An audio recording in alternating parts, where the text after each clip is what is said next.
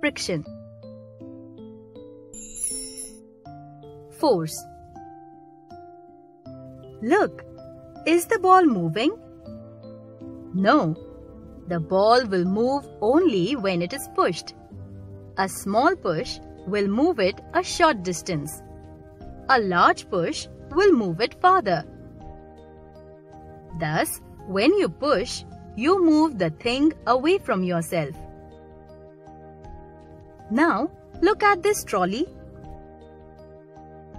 It will move only when pulled, or else it will remain at its place.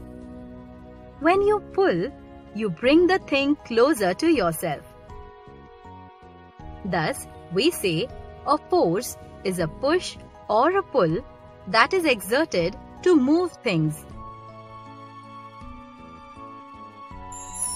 Friction Early man accidentally discovered fire by rubbing two flint stones together.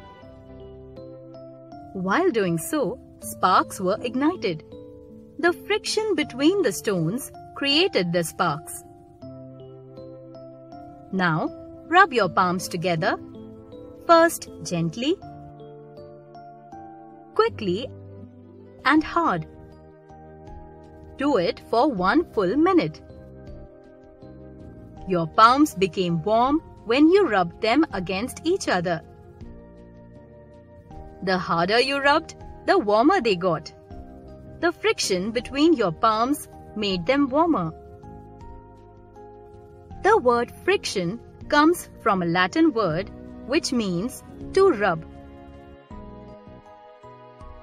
When two surfaces come in contact with each other in such a way that they rub or chafe against one another, friction occurs.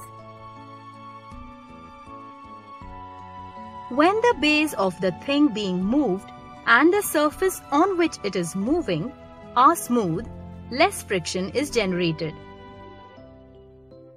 But if either one is rough or in some cases both are rough, far more force has to be applied as friction is greater.